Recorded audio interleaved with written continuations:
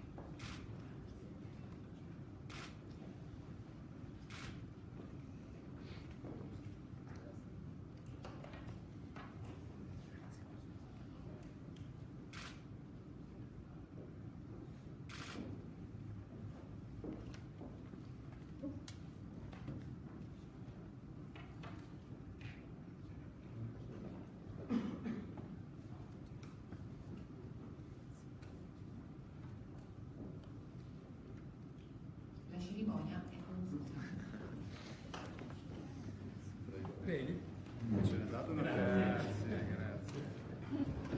Grazie mille, grazie.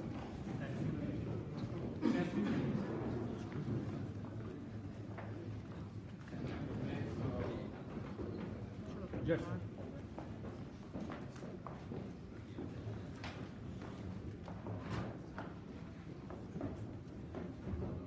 Funziona?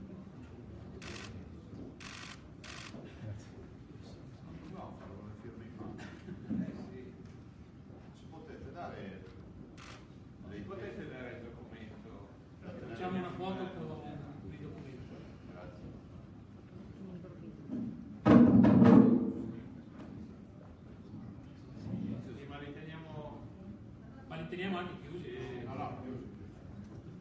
Anche cambiate. Io tengo quello dell'Emilia così lo controllo, se no perché non si sa mai.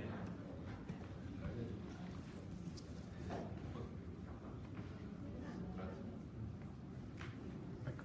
Oh. Così si